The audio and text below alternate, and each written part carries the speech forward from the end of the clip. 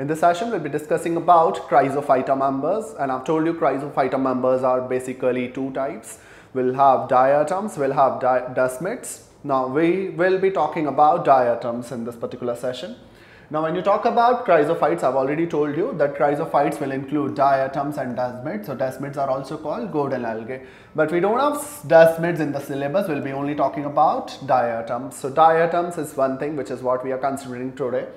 Now when you look about diatoms, they are also called pearl of oceans, basically found in marine water and they behave like, you know, they look like pearls. So they are also called pearls of uh, oceans. They are aquatic, but some of the what you vertical diatoms members are also terrestrial. They are chief producers in ocean. Very important line. They are chief producers in oceans means they are photosynthetic, so they can make their food. They are present in ocean and they become the major amount of phytoplanktons where which will be consumed by zooplanktons, smaller fishes and bigger fishes. So they make the important component of aquatic food chains and they are responsible for around 50% of organic matter synthesized in biosphere. In next session, we'll be talking about different characters related to diatoms.